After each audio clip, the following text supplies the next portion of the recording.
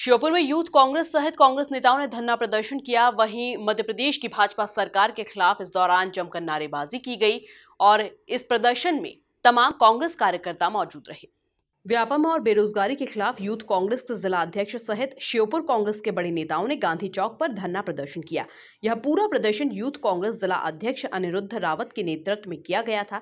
इस दौरान श्योपुर कांग्रेस के जिला अध्यक्ष अतुल चौहान, प्रदेश कांग्रेस सचिव योगेश जाट, गिरिराज चौधरी तमाम कार्यकर्ताओं के साथ शामिल हुए। प्रदेश में भर्तियों को व्यवसाय बताते हुए यूथ कांग्रेस ने हल्ला बोल कार्यक्रम रखा था। व्यवसायीकरण किया जा रहा है।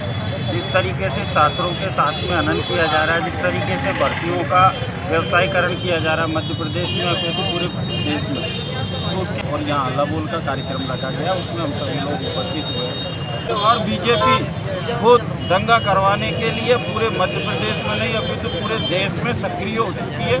बीजेपी के आरएसएस, बीजेपी का अल्पसंख्यक वर्ग इस कार्य को पूर्ण रूप से कर रहा है। और अगर यही स्थिति रही देश में और अगर देश का व्यक्ति नहीं जागा देश की जनता नहीं जाएगी तो कहीं ना कहीं उनकी मानसिकता है कि देश में गृह युद्ध जैसी स्थितियाँ हाल ही में जो तीसरे वर्ग की शिक्षक पात्रता परीक्षा हुई थी, उसमें मुख्यमंत्री जी के ओएसडी जो लक्ष्मण सिंह जी जिनका नाम है, उनके व्हाट्सएप पर जो पेपर था एग्ज़ाम पेपर वो लीक हुआ।